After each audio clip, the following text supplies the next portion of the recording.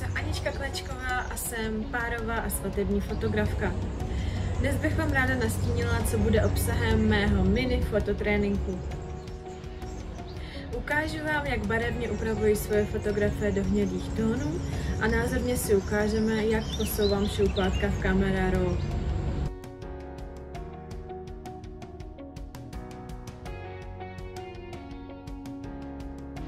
Následně si ukážeme můj styl retuše a také jak aplikuji metodu Dodge and Burn zesvětlení nebo naopak stmavení určitých částí obličeje na svoje fotografie.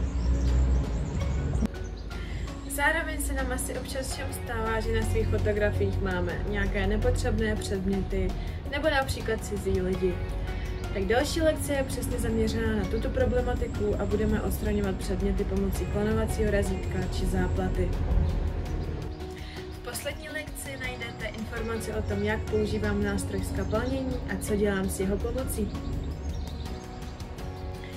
Jako bonus mám pro vás připravených pět presetů, včetně černobílého, který používám ve své tvorbě a zároveň pět fotografií ve formátu RAW, abyste se všechno mohli otestovat a vyzkoušet sami.